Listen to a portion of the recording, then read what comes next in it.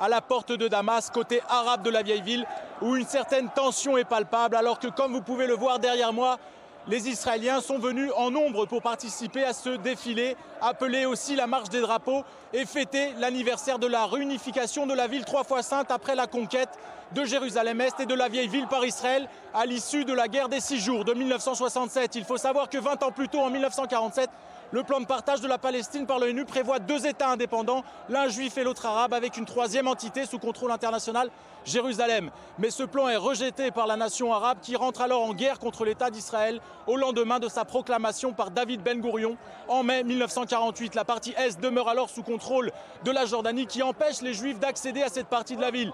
Et ce n'est qu'à l'issue de très durs combats entre les forces jordaniennes et israéliennes en juin 1967 que Tsahal, par l'intermédiaire de son unité de parachutistes, parvient à reconquérir la vieille ville et arrive jusqu'au mur des lamentations. Israël peut alors déclarer de façon officielle la libération de Jérusalem, une Jérusalem réunifiée et capitale éternelle et indivisible du peuple juif. Tout au long de cette journée fériée, Jean-Charles, les Israéliens participent à diverses commémorations officielles, civiles et religieuses qui prennent place ici, et notamment cette parade qui réunit cette année encore plusieurs dizaines de milliers de participants selon les autorités.